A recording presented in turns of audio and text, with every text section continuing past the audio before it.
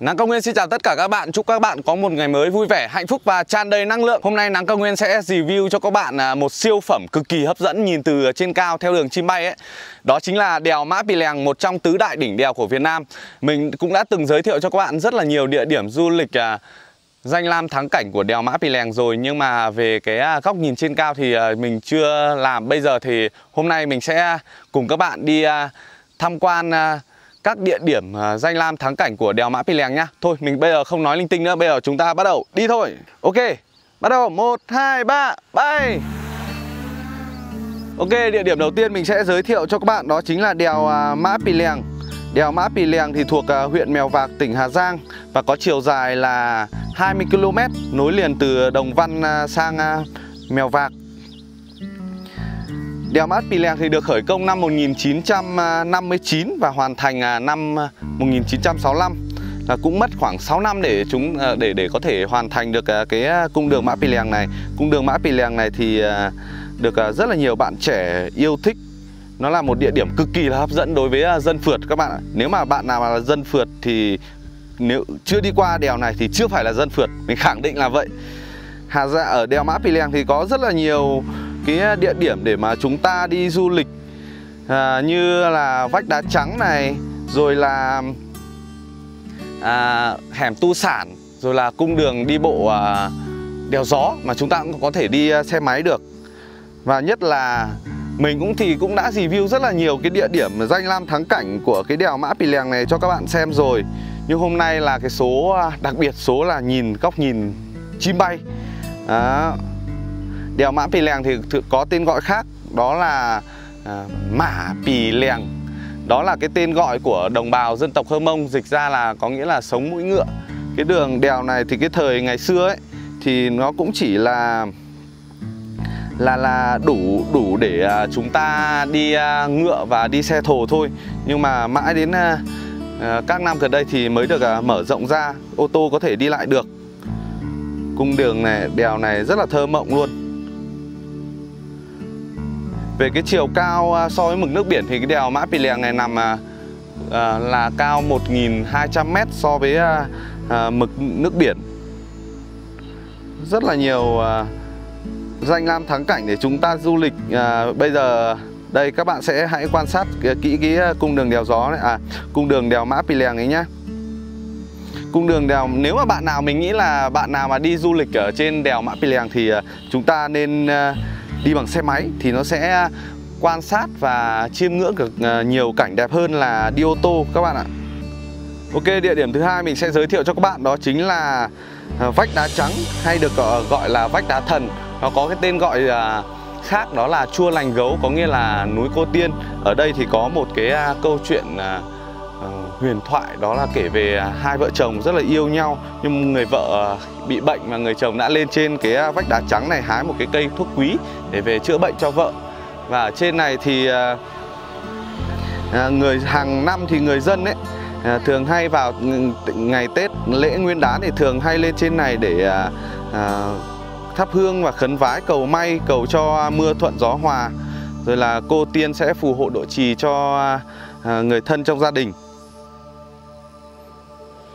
ở trên này thì cũng có một cái tuyến đường đi bộ trải dài à, 5 km bắt đầu nguồn từ thôn à, Mã Pì Lèng đến thôn à, à thôn gì Bảy Lùng cái tên nó cũng rất là khó nhớ nên là mình thôi cái này thì à, đúng rồi đó là cái tên à, thôn à, Xéo Xà Lủng ờ, thuộc à, xã Bảy Lùng. Đây như các bạn đang quan sát đây chính là cái à, cái cái cái tuyến đường đi bộ đây.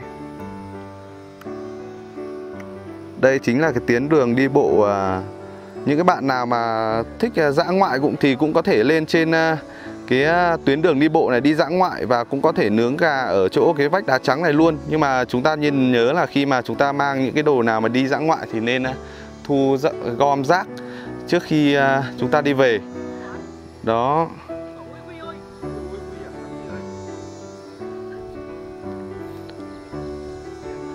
Ở à, ở chỗ vách đá trắng này thì có một câu chuyện thì người dân kể lại. Nếu mà ai mà muốn à, cầu gặp may mắn thì à, chúng ta sẽ hứng những cái giọt nước rơi từ trên vách đá trắng xuống. Đó chính là những cái giọt nước mắt của cô tiên. Nhưng mà hãy thành tâm nhé. Đó. thôi chúng ta sẽ bước sang địa điểm tiếp theo. Đó chính là sông Nho Quế. Hiện tại thì dòng sông Nho Quế trời vừa mưa xong nên là nước à, hơi đục các bạn ạ. Nên là các bạn à, thông cảm nhé. Ờ, cái dòng sông Nho Quế thì à, có cái màu xanh đặc trưng của dòng sông Nho Quế đó là màu xanh ngọc bích.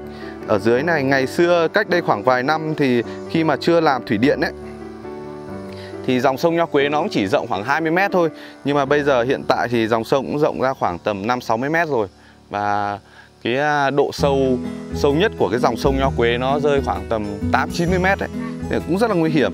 Ở dòng sông Nho Quế thì chúng ta cũng có thể à, sang địa điểm à, tiếp theo đó chính là cái hẻm vực nổi tiếng à, nhất Việt Nam đó hẻm vực mệnh danh là hẻm vực sâu nhất Đông Nam Á.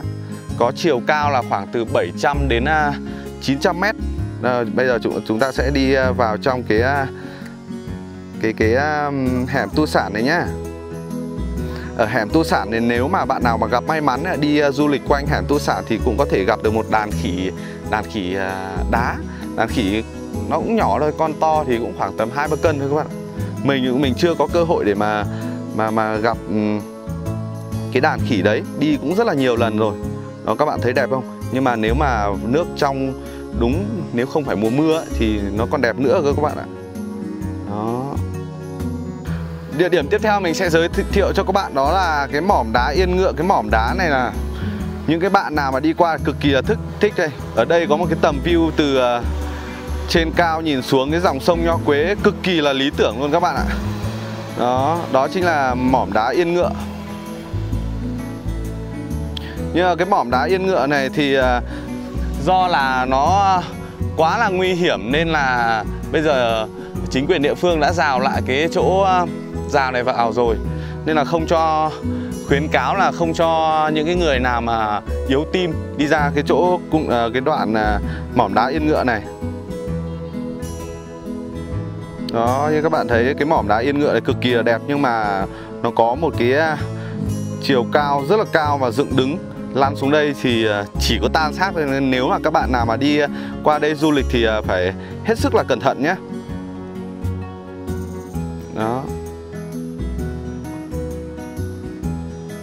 Ok, địa điểm tiếp theo mình muốn giới thiệu cho các bạn đó chính là cái chỗ nghỉ nghỉ chân của đèo à, Mã Pì Lèng. Ở nơi đây thì à, khi mà mỗi khi mà khách à, phương xa đến đây du lịch thì thường thường hay dừng chân nghỉ ở chỗ này. Chỗ này cũng có một cái view ngắm cảnh rất là đẹp các bạn ạ. Và đặc biệt hơn nữa là ở trên ở trên chỗ cái đoạn nghỉ chân này thì có một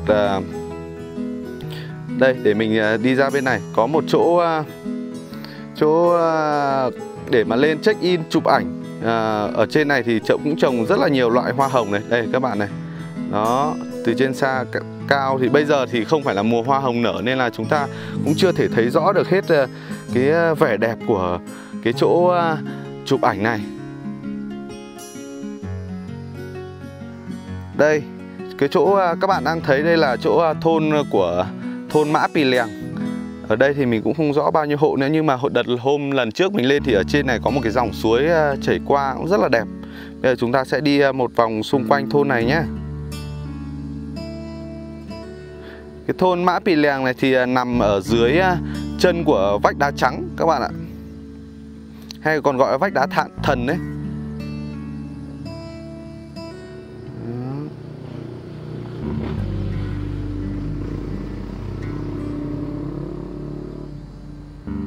Đây mình sẽ quay lại cho các bạn xem toàn cảnh à, đèo Mã Pì Lèng nhé. Đấy, mây à, phủ rất là đẹp luôn các bạn ạ. Như kiểu đang ở trên tiên cảnh ấy.